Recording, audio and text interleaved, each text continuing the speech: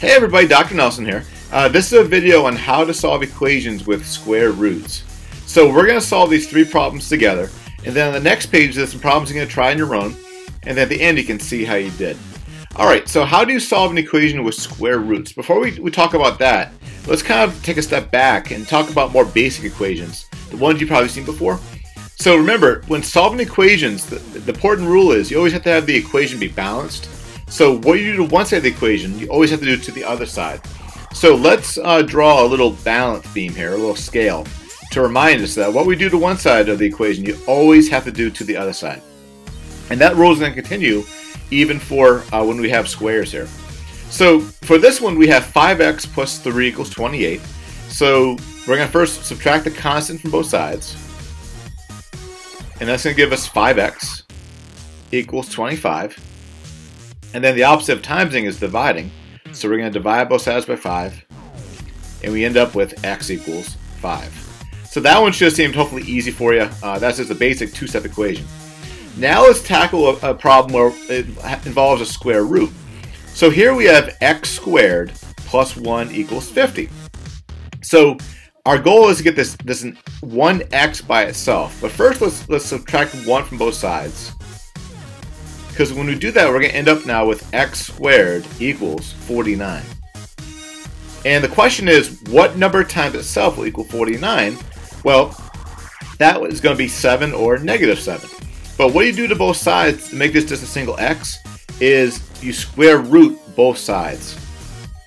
So the square root of x squared is going to be just an x, and then the square root of 49 is going to be plus 7 and also negative 7. So positive 7 and negative 7. And there's your answer. So to solve for x here, we had to square root both sides to get to change the x squared to an x. All right, let's try this one. I'm going to uh, first take away 4 from both sides. So that's going to give us a negative 5x squared equals 180. And then I'm going to divide both sides by negative 5.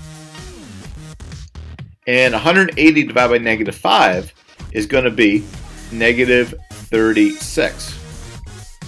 Now I'm going to square root both, both sides. And here we have an issue, a problem. Well, the square root of x squared is, is x. That's fine.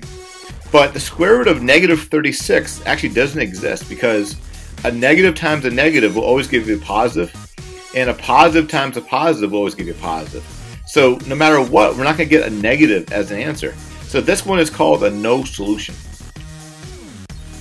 So again, when you get an x squared equals a negative number, again, that's a negative 36, that's a sign that it's going to be a no solution. Alright, so now that you understand how to solve equations with square roots, why don't you pause the video and try the problems on the next page, and when you're done, hit play. You can see how you did. Alright, good luck.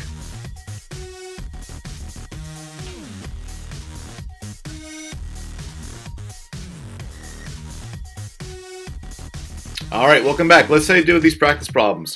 So the first problem we have 6x squared minus 1 equals 149. So I'm going to first add 1 to both sides. And that gives us 6x squared equals 150. And then to get the x squared by itself, I'm going to divide both sides by 6.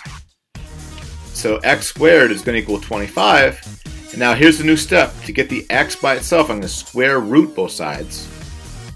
And I know the square root of 25 is uh, 5 and also negative 5. So x is going to equal both positive 5 and negative 5. And there's your answer. All right, let's try this one. Here we have x squared uh, divided by 3 equals 12. So first step, I'm going to multiply both sides by 3. Because when I do that, these 3's cancel out and the x squared is by itself. But again, we got to keep it balanced. We got to multiply both sides by 3. So now we have x squared equals 36. And now we square root both sides. And the square root of x squared is x. And the square root of 36 is going to be 6 or negative 6. And there's our answer. All right, how'd you do?